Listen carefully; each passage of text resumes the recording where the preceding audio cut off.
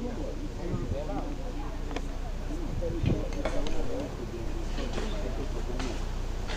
rog,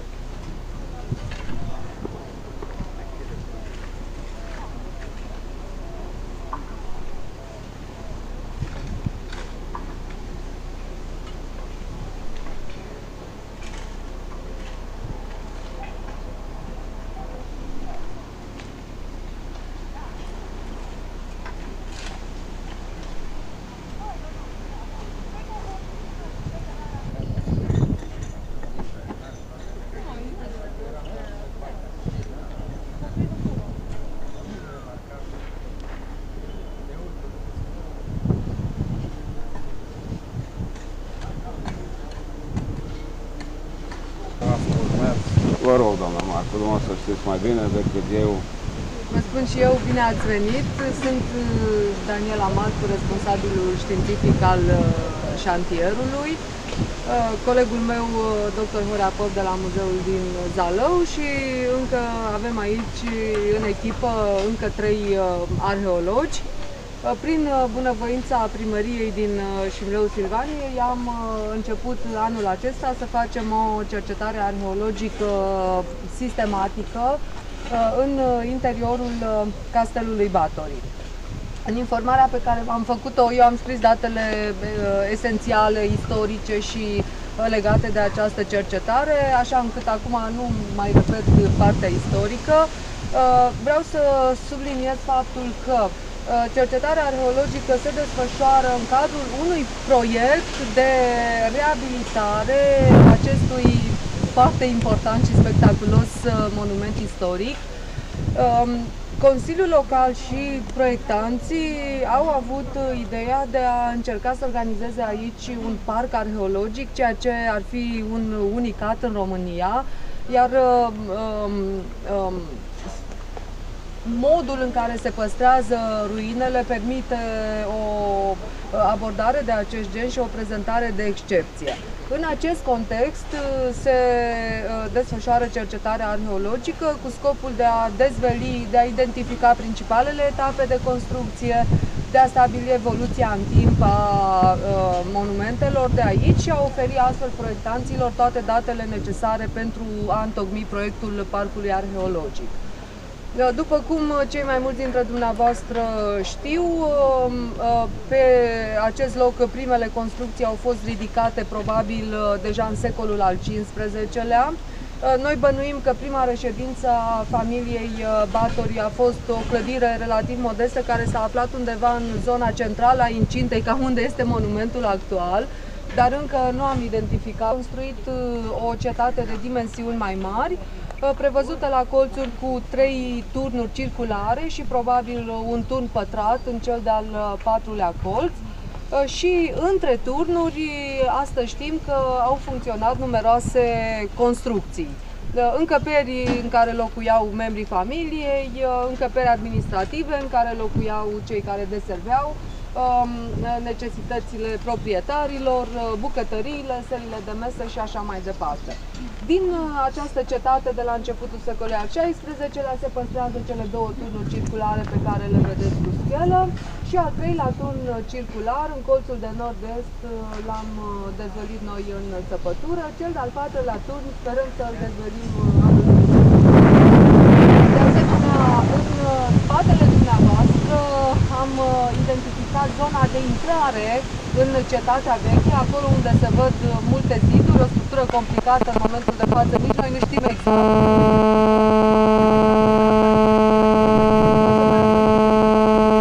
Și o să completăm informațiile anul viitor. Deci acolo am căzut pe zona porții, unde era un turn încadrat de clădiri de dimensiuni mari și unde probabil, foarte probabil că accesul se făcea cu ajutorul unui mic pod care era basculant. În, în partea spre nord, în partea noastră dreaptă, am găsit de asemenea urmele unor încăperi care funcționau pe latura de nord a zidului de incintă între cele două turnuri și aici o să vedeți de asemenea urmele unor încăperi. În exteriorul uh, acestei cetăți cu turnul circulânduri de palisadă, palisadă însemnând uh, un fel de împrejmuire făcută din uh, stâlpi foarte groși de lemn cu diametru de 30-40 de centimetri, Uh, palisada are o lungime de aproape 16 metri, deci uh, cam din 4 în 4 metri sunt așezate aceste împrejmuiri din stâlpi și în continuare uh, s-a realizat un, uh, un șanț cu o adâncime cam de 2 metri 50. Tot acest sistem a fost conceput uh, uh, la începutul secolului al XVI-lea, probabil că în jur de 1550 era deja în funcțiune, dar uh, proprietarii nu s-au oprit aici, au continuat să dezvolte uh, construcțiile în, uh, au renunțat probabil la șanț pe cea mai mare parte uh, a suprafeței și au construit în mijlocul lui zidul de incintă uh, actual, să zic în linii mari, care se păstrează în spatele dumneavoastră și pe care îl puteți vedea și venind din stradă, probabil după mijlocul secolului al XVI-lea și apoi până la 1600 au construit turnul de partea actual, care este în ruină, totuși cu acoperiș, uh, și de asemenea patru bastioane de colț de formă romboidală, din care cel din colțul de nord uh, est se păstrează mai bine și acela se poate vedea și din, uh, din stradă. Noi ne-am concentrat pe cetatea veche pentru că așa a fost înțelegerea cu primăria. Am ieșit, am fost obligați să ieșim totuși în afara cetății vechi până la cetatea mai nouă de la sfârșitul secolului al XVI-lea pentru a da proiectantului niște informații legate de cum au evoluat nivelele de călcare. Um, n-am aflat uh, multe informații despre cetatea mai târzie, vom, uh, ne vom concentra asupra ei mai mult anul viitor. În orice caz, în partea de nord o să vedeți urmele unei construcții din lemn, uh, care a funcționat între cetatea veche și cetatea mai nouă, nu știm exact în ce, în ce perioadă. Cam aceasta ar fi o prezentare generală a săpăturii. Sigur că o să facem un tur și mai eventual mai uh, completăm cu ceva. Uh, în uh, săpătură am descoperit enorm de mult material arheologic, foarte multă ceramică, foarte multe pietre profilate, destul de multe obiecte de metal. Cele mai vechi uh, fragmente ceramice sunt dacice, uh, după aceea am găsit uh, inventar uh, vestigii, să zic așa, din, și din epoca arpadiană, din secolele 13-14. Am delimitat uh, urmele a două locuințe și am găsit câteva fragmente ceramice, dar locuirea importantă și foarte consistentă începe într-adevăr din secolul al XVI-lea. Uh, avem uh, zeci de mii de fragmente ceramice și 99% din ele sunt în perioada secolului 16-18.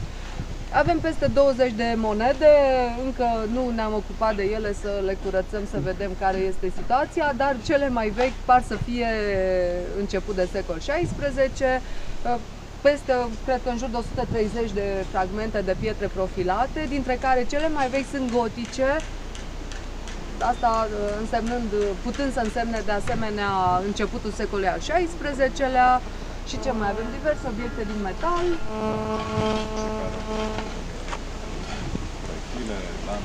Da, da, da. Am găsit lanțul de la podul sau de la poarta cetății vechi proiectile din asta de artilerie, mai mici, mai mari și, mă rog, alte mărunțișuri din metal pe care după o conservare primară uh, le vom putea identifica, le vom putea defini. Sunt multe cuțite, am văzut și tot felul de chestii. Între fragmentele ceramice sunt foarte multe cacle. Într-una din încăperi am găsit chiar o sobă prăbușită. Am scos-o parțial anul acesta, parțial anul viitor. Sigur că noi, când am început această cercetare, am avut niște date istorice generale. Deci am știut că este uh, un castel de la începutul secolului al XVI-lea, că am, ne-am orientat uh, Uh, făcând comparații cu alte castele din epocă. Uh, deci ne așteptam să găsim aici tot felul de construcții. Dar ceea ce am găsit depășește cu mult uh, așteptările noastre. Nu ne-am așteptat să fie construcții atât de complexe, și atât de multe. Practic, credeam că pe lângă zidul de incintă au funcționat câteva încăperi, dar de fapt au fost corpuri de clădiri continui pe cele patru laturi ale incintei. Nu ne-am așteptat nici la această bogăție de material arheologic care pe moment ne sufocă, nici nu știm bine ce să facem cu el. Îl, uh, avem, cred că, zeci de saci care sunt uh, plini cu uh, materiale. Uh, în fine, vreau să trag concluzia că, uh, din punctul nostru de vedere, destul de limitat, așa să zic, la partea arheologică, este o cercetare absolut spectaculoasă, de care suntem foarte încântați, ne oferim multe satisfacții științifice, dar în primul rând eu sper să ofere satisfacții orașului, pentru că cu cât descoperim mai multe lucruri în aceste săpături, cu atât cresc posibilitățile de a, de a pune în valoare acest sit și de a îl prezenta într-o formă de excepție, pentru că este ce să se prezinte uh, și uh, merită o abordare de acest gen, merită să fie integrat într-un circuit turistic care să ofere o șansă în plus uh, orașului. Cercetarea este, din păcate, finanțată numai de primăria Șimleu Silvaniei, care a făcut un efort extraordinar financiar pentru această campanie. Uh, mulțumesc domnului viceprimar, care de fapt este un fel de arheolog în echipa noastră, este tot timpul uh, alături de noi și orice avem nevoie ne-a ajutat și sperăm cu toții, în urma acestor rezultate, să primim uh, un sprijin financiar și din alte părți, poate Consiliul Județean se va sensibiliza pentru că este într-adevăr un sit cu, cu totul excepțional. Am lucrat în colaborare cu Muzeul din Zalău, cum se putea altfel. Materialul va merge la Muzeul din Zalău sau ne vom înțelege cum ce facem cu el. Colegii de la muzeu sunt prezenți la șantier. Mulțumim, doamne directoare, pentru toată înțelegerea. Dacă dorește să spună ceva, dar numai de bine, îi dau cuvântul. Da, în primul rând, excelentă prezentare, nici nu mai știu ce să zic și noi ne-am ocupat de-a lungul timpului, evident, Horea Pofin, chiar uh, uh, Șimleoan, uh, pentru el a prezentat, are și, și o, o afecțiune deosebită pentru zona aceasta, dar nu vorbesc eu în numele lui oricum. Uh, desigur că este excelent faptul că iată atâtea straturi de locuire, atâtea rânduri de locuire, unul la mână, și excelent uh, faptul că în sfârșit se descălcește puțin ceea ce însemna cetatea, deci cetatea veche, că lumea e obișnuită să zică cetatea Bacului, cum uh, o combinație care nu totdeauna este cea mai uh, fericită. Ce a însemnat cetatea veche și ce înseamnă reședința familiei Batului, care desigur s-a dezvoltat foarte mult și asta era pe vremea uh, regelui